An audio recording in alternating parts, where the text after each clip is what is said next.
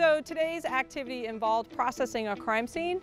One of the things that I really wanted to work on is giving kids more realistic applications of the course. So we created an outdoor crime scene where evidence was planted. Students had to recognize that evidence and then process that evidence. They did a mild process a short processing today, but they'll do more detailed throughout the year. I couldn't have done any of this without SPARK Foundation. So last year, Spark had sent a email out to the county teachers and I saw it and I said, let's try it. I wanted an outdoor crime scene.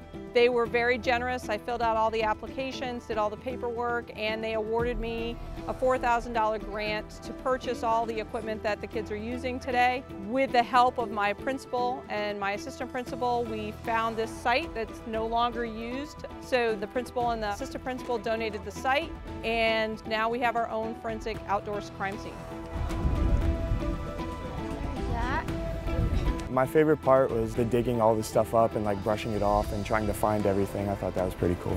What I took away from this activity was that forensics is a lot more detailed than it seems, that it's not just the intelligence of solving a crime, but recording everything for court